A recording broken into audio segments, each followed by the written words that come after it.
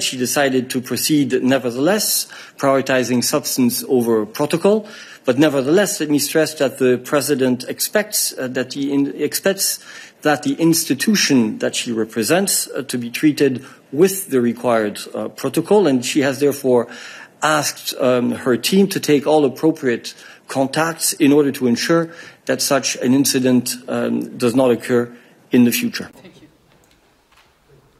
Öyleymişsiniz de.